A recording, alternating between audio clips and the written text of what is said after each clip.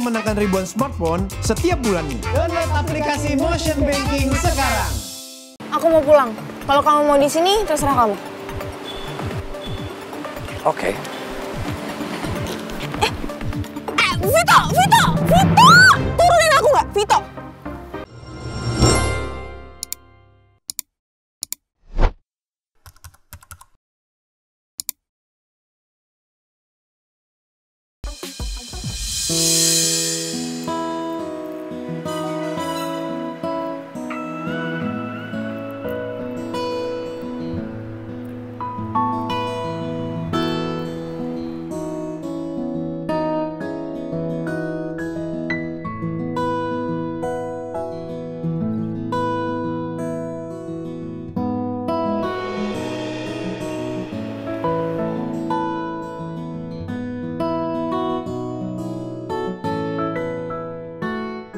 Hai. Hai Mel. Hai. Eh, sorry, udah lama nunggunya ya? Oh, um, enggak kok aku juga baru sampai. Oke. Eh,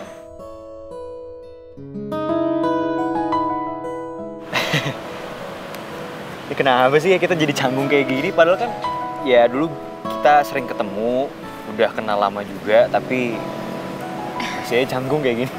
Iya, udah kayak orang mau PDKT aja.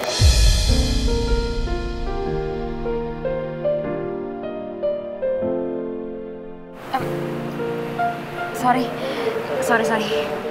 Ya, aku sih nggak masalah kalau misalnya aku harus PDKT lagi sama kamu.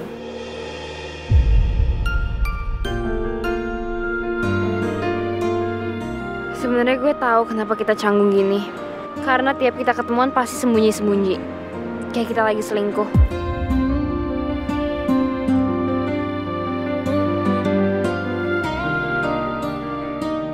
Eh, ada es krim tuh. Mau nggak? Tuh. Boleh, boleh banget. Ya udah kamu tunggu sini ya, aku beliin ya. Oke. Berapa? 40. Ya, ambil aja kembaliannya. Kasih bang ya. Ya, sih.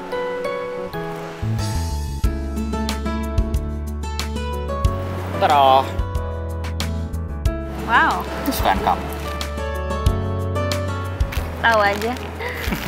Makasih lo ya. Eh, em, makannya sambil jalan-jalan yuk. Boleh. Let's go.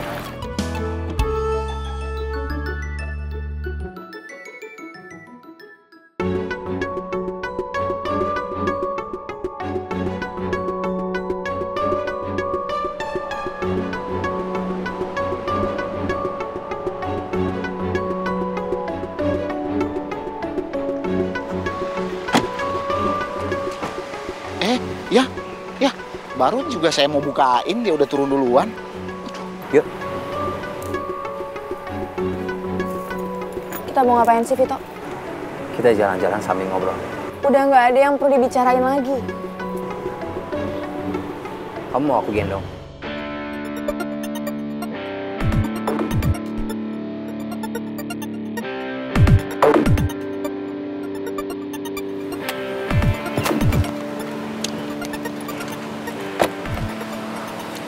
Aku mau pulang. Kalau kamu mau di sini, terserah kamu. Oke. Eh, Vito, Vito, Vito! Turunin aku nggak, Vito? Vito, Waduh, diangkut. Kayaknya Mas Vito udah kenal lama ya sama si Maura. Vito, Vito, Vito, Vito, turunin aku cepetan, Vito. Ya,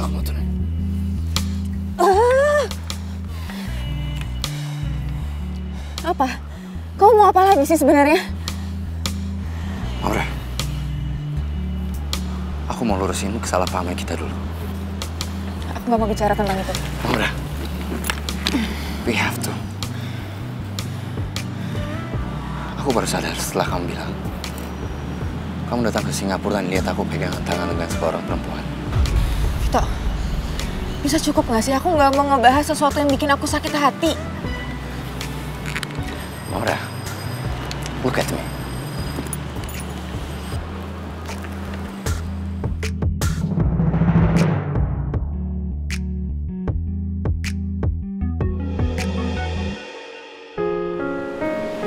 Justru kita harus bicara ya. Sampai semuanya clear. Aku nggak mau kamu sakit hati lagi.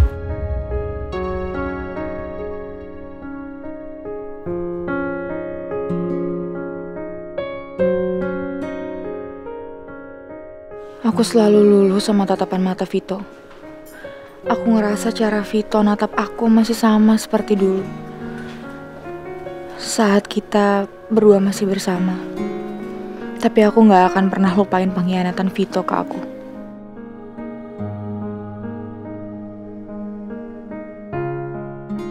Aku nggak mau Maura benci sama aku. Dia harus tahu kenyataan yang sebenarnya.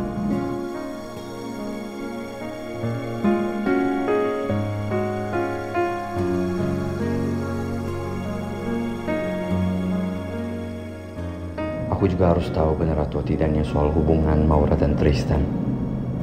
Apa benar Maura udah benar-benar berpaling dari aku dan mencintai Tristan?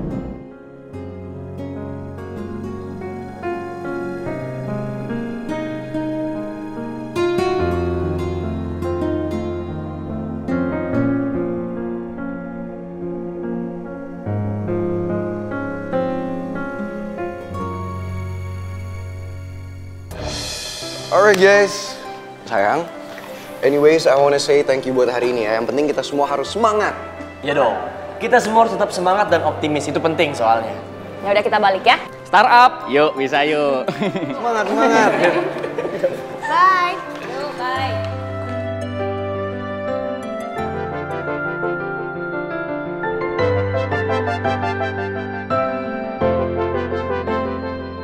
Oma lagi kepikiran banget loh sayang. Kepikiran soal apa? Oma takut kalau misalnya Mel sama Vito tiba-tiba datengin Oma hari ini.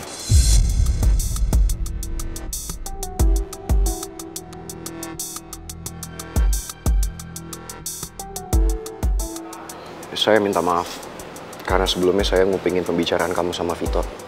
Dan saya tahu kalau misalnya Vito sama Mel pingin datengin Oma ke kantornya Oma. Makanya pas saya telepon Oma, Oma panik banget. Oma deg-degan, Oma stres.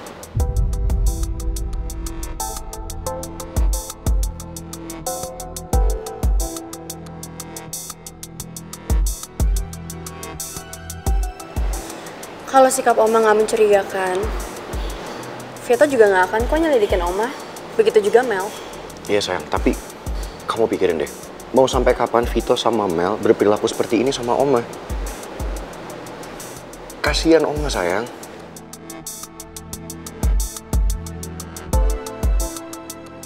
Tapi gimana kalau ternyata benar Oma ada hubungannya sama semua ini?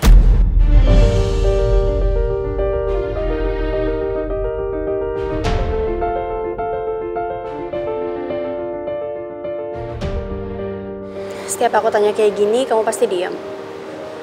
Apa jangan-jangan kamu sendiri nggak yakin ya kalau Oma benar-benar nggak bersalah? Sayang, saya itu kenal banget sama Oma. Dan Oma nggak mungkin melakukan itu semua. Oma itu nggak bersalah. Oma itu bukan penyebab Om Raymond kecelakaan ataupun Tante Lisa meninggal. Nggak mungkin itu semua Oma, sayang. Saya tahu itu. Pernyataan kamu nggak cukup membuktikan kalau Oma nggak bersalah, Pangeran. Atau nggak gini aja deh, kamu ikut aja penyelidikan Oma. Dan kalau kamu emang benar-benar bisa membuktikan Oma sama sekali nggak bersalah, ya udah, Vita juga nggak akan ganggu Oma lagi kok. Lagi-lagi saya sama Putri jadi berantem karena masalah ini. Saya harus secepatnya selesaiin masalah ini supaya nggak terus berlarut. Sayang, sayang, sayang tunggu. Kamu mau ke mana sekarang? Aku mau pulang sendiri aja. Ya udah biar saya yang anterin ya. Nggak usah aku pulang sendiri aja. Aku capek. Setiap aku bahas Oma sama kamu, ujung-ujungnya pasti kita berantem. Mendingan mulai sekarang kita jaga jarak dulu deh. Sayang kok kamu ngomongnya gitu sih? Jadi sekarang kamu lebih percaya sama Vito, orang yang kamu baru kenal, yang nggak lama kamu baru kenal dibanding aku. Aku emang belum lama kenal sama Vito. Tapi gimana pun juga Vito itu kakak aku, Pangeran. Dan kita berdua sama-sama kehilangan mama. Kalau aja bapak nggak sakit kayak gini, kalau aja bapak nggak koma, pasti bapak bisa bilang sama aku sebenarnya oma itu bersalah atau enggak. Jadi masalahnya nggak akan berlarut-larut kayak gini. Bapak nggak mungkin nuduh tanpa bukti, Pangeran. Bapak pasti nemuin sesuatu tentang Oma yang mau dilaporin ke polisi sebelum akhirnya Bapak kecelakaan. Dan kalau kamu emang mau belain Oma nggak apa-apa. Tapi kamu nggak bisa larang aku untuk belain keluarga aku.